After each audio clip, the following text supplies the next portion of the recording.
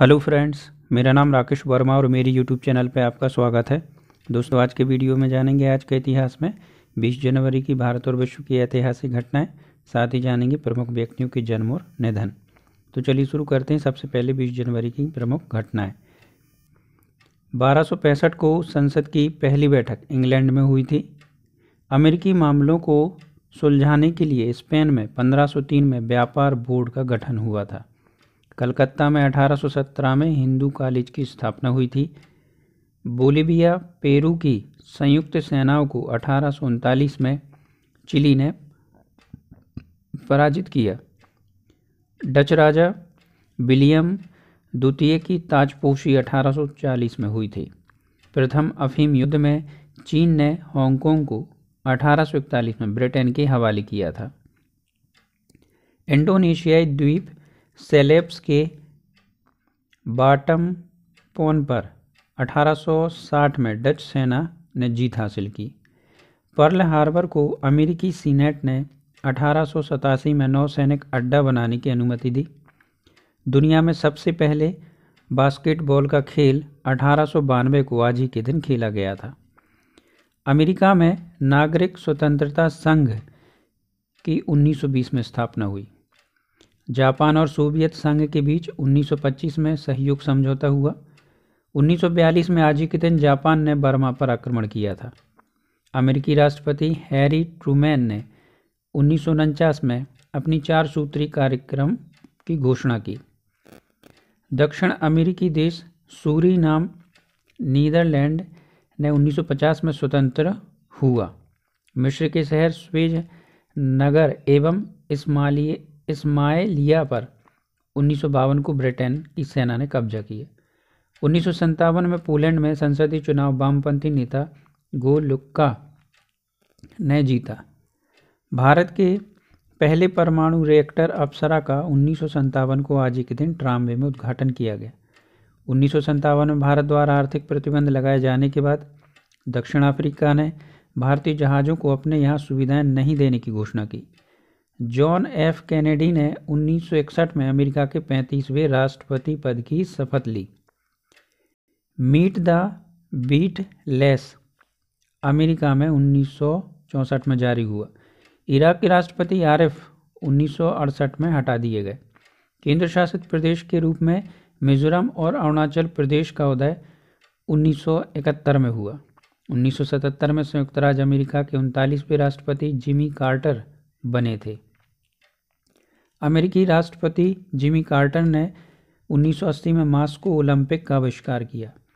हॉन्डूरस, जो मध्य अमेरिकी देश है, उसमें सन 1982 में संविधान प्रभावकारी हुआ।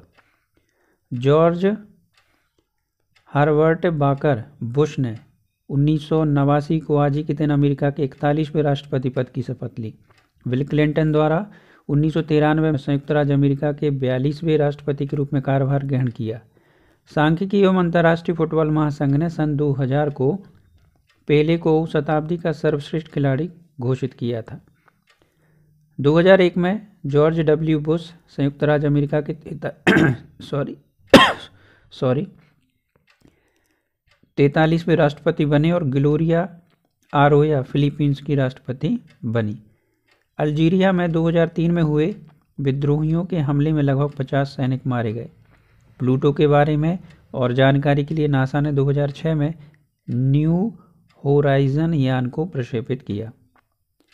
नेपाल और भारत ने पारगमन संधि की अवधि को 2006 में तीन महीने के लिए बढ़ाया। अफ़गानिस्तान में सीमांत गांधी के नाम पर 2007 में संग्रहालय स्थापित किया गया।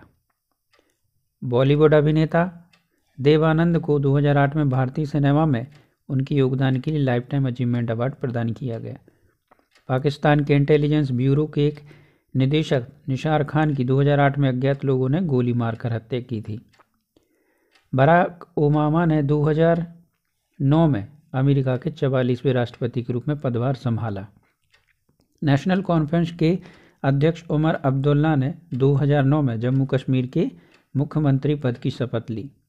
गुरुदत्त की फ़िल्मों, कागज़ के फूल चौदहवीं का चाँद और साहब बीबी और गुलाम आदि को फिल्माने वाले सिनेमेटोग्राफर बी के मूर्ति को 2010 में प्रतिष्ठित दादा साहेब फाल्के पुरस्कार के लिए चुना गया और यह पुरस्कार पहली बार किसी सिनेमेटोग्राफर को दिया गया।